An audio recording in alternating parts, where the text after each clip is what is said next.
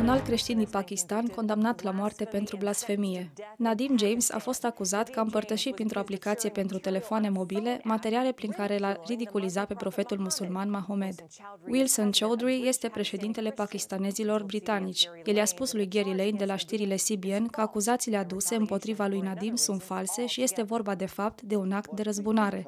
Este clar ce ne-a spus Nadim James. El s-a căsătorit cu o femeie musulmană. Acea femeie musulmană s-a convertit la creștinism. Acest fapt a îngrijorat comunitatea musulmană, mai ales pe bărbatul care l-a acuzat de blasfemie. Din cauza acestui mariaj, din cauza dragostei lui pentru această femeie, pentru angajamentul făcut și pentru că l-a găsit pe Hristos, el este condamnat la moarte.